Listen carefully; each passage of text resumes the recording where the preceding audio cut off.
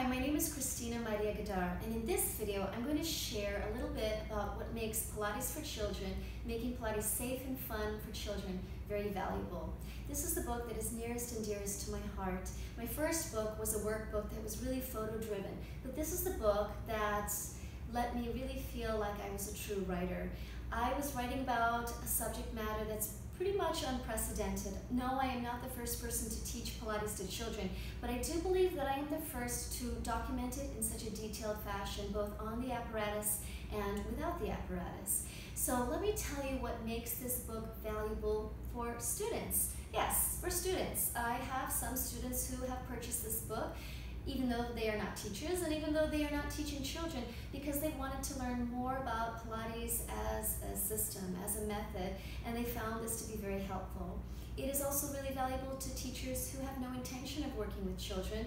Brooke Siler, in fact, sent me a really sweet message upon receiving her book, telling me that she could see ways that she could use the information in this book to work with her adult students. And many teachers have shared that with me, and that really means a lot to me that teachers are seeing the value of this book. But this is really written for teachers who want to work with children. Now I divide it into two parts. The first part works with the fundamentals, pre-Pilates, mat work. There's a chapter called the Pilates Animals Workout. Uh, it's a workout that I trademarked and children really relates to animals so I wanted to include something like that that was unique and it also includes magic circle exercises and weights and using the wall and doing things that are standing so all of the things in that first part are really accessible to teachers who work with children in a group setting now the second part is devoted to the apparatus we start with the short pole, go to the long pole, and then we go to the chairs and the barrels, the Cadillac, and the reformer. So it includes a lot of the equipment as well. Every single exercise includes two variations to choose from. There's a getting started variation, there's an eventually variation. So you have a lot of options. And my editor made sure that the text was really going to hold its own. So when you read it, there's no need to look at pictures to better understand the exercises, but as you can see, I provide photos. I provide photos for every single exercise. It's icing on the cake. So it's very helpful to have that visual in addition to the text. It is really hard to write about movement. It almost seems like that wouldn't even work to use words to write about moving your body, but I think I did a decent job to explain the exercises with the written word and add the photos that my children modeled for over the course of three years. Now, on a personal level, this means a lot to me. It means a lot to me because I was working with a young student at the age of seven who was diagnosed with leukemia. And when his parents wanted to redirect the Pilates lessons that I was offering them to their son to help combat the muscle weakness that often accompanies chemotherapy, I knew in my heart that Pilates was the right thing for him, but I was intimidated. I knew from Joe Pilates' writings that we must first educate the child on the Pilates method. I knew from Romana talking about receiving child-sized springs in Peru for her children when Joe sent them to her. I knew that she was teaching Pilates to her kids and in her creative dance classes that she taught in New York. But I was still intimidated. I was taught to believe that we could only teach the mat work to children. And I had tried that with my own kids when they were little. They were curious, what did their mom do for a living? So I taught them. But it didn't hold their interest a lot until I asked them to start working on the apparatus so that I could get a good amount of feedback before working with their young friend. So they really rose to the occasion. And so in that sense, I'd like to say that this is also a love letter to my children.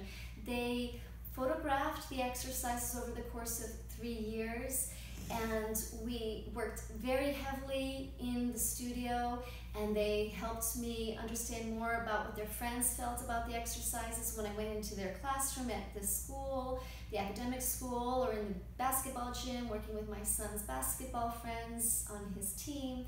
So this is truly a, a tribute to all the children that I've worked with, the young boy who got me started writing again, and to my own children.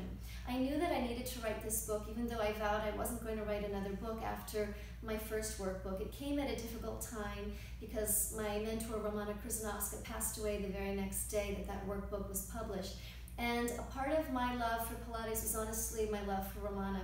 So I had lost a bit of that passion, I think, for Pilates up until working with the young boy who really showed me that Pilates has a lot of value when taught to children.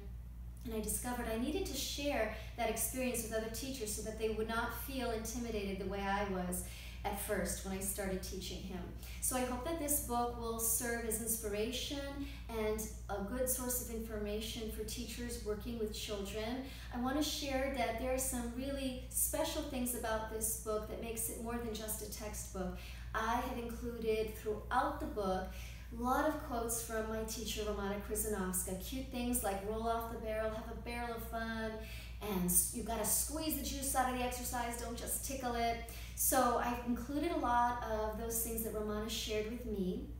I also include a lot of candid moments between myself and my young students. I'm going to share three of them with you now.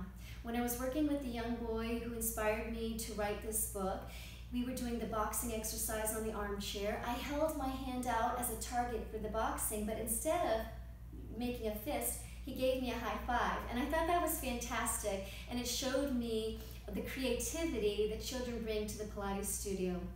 When I was teaching my daughter when she was seven, doing ballet stretches at the end of the Cadillac, she went into a beautiful upper back bend that reminded me of Romana saying, present a bouquet of flowers. But I hadn't said that to her, and I was curious, what was she thinking about when she did such a made such a beautiful shape?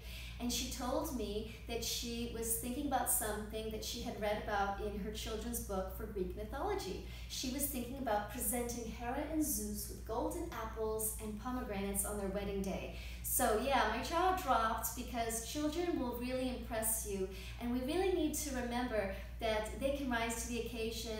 They will impress us both with their imagination and with their physical uh, capability. And then the third candid moment that I'd like to share with you was with my son doing the leg springs on the Cadillac at a setting that was more appropriate for him.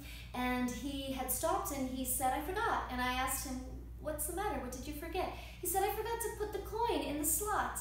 And the reason he said that was because he has always loved pirates. And so when he first started doing Pilates with me, I took advantage of that somewhat obsession with pirates that he had to help him engage his seat muscles better by imagining that he was squeezing a valuable pirate coin between his butt cheeks. And I know that sounds really crude, but it really did the work. It, it was effective.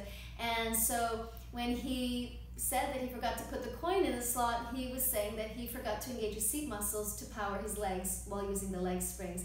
So I include a lot of candid moments like that, candid moments with other young students I've worked with, and that's in little sections that's called Keeping It Real throughout the book.